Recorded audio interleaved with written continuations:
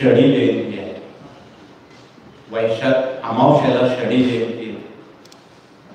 असंख्य लोक शनी देवतेची उपासना करतात भीतीपोटी परंतु शनी हा पृथ्वीपासून तेहतीस कोटी मैल दूर आहे.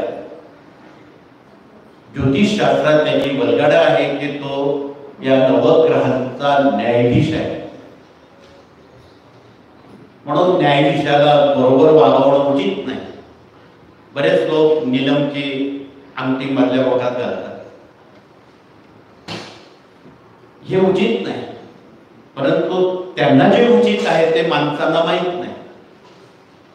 म्हणून साडेसातीचा उपद्रव कधी कुणाला होऊ नये म्हणून आपल्या नित्यसेवेत नवग्रह स्तोत्र दोन प्रकारचं दिलेलं आहे. एक विजयुक्त दिले संस्कृत.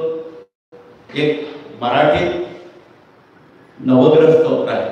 ज्यांना जे शक्य आहे त्यांनी जर रोज नऊ वेळा नवग्रह स्तोत्र वाचलं बीजयुक्त किंवा साधं आयुष्यात त्यांना कुठलीही शांती कर्म करण्याची आवश्यकता नाही. अनेक आमचे काही ज्योतिषी सांगतात पांढरा नक्षत्र ज्येष्ठा नक्षत्र माघा नक्षत्र असं करावं लागेल तसं करावं लागेल. परंतु जर आपण नवग्रह स्तोत्राचं पठन केलं निश्चितपणे आपण निधन करा आणि साडेसातीच्या उपद्रवापासून आपले सुटका